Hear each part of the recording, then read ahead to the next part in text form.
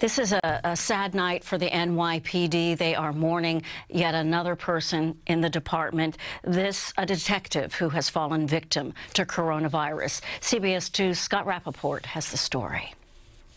We are hurting, we are crying, and we continue to fight. We simply have no other choice. A somber yet stoic NYPD Commissioner Dermot Shea on the death of 48 year old NYPD detective Cedric Dixon, the first cop on the force to be killed by the coronavirus.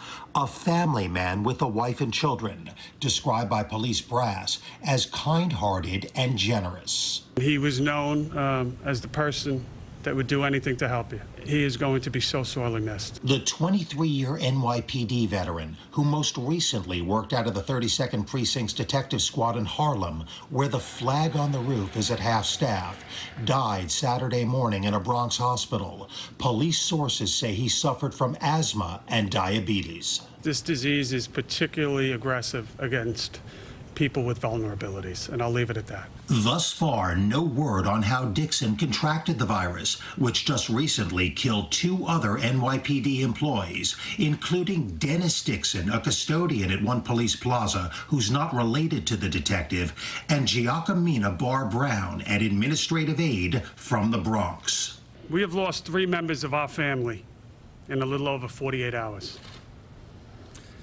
As I stand here, I cannot begin to describe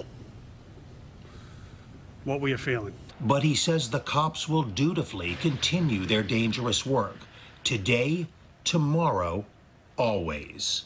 And to the grieving family of Detective Dixon, a solemn promise from the president of the Detectives Endowment Association, Paul DiGiacomo. They are in our hearts and in our prayers, and they will never, ever be forgotten. We will be there to help them in any way that we can. In honor of the man who's being remembered as a gentle giant. In Manhattan, Scott Rapoport, CBS 2 News. The NYPD says 608 officers and uh, 88 civilian employees have been diagnosed with uh, positive testing results for the coronavirus.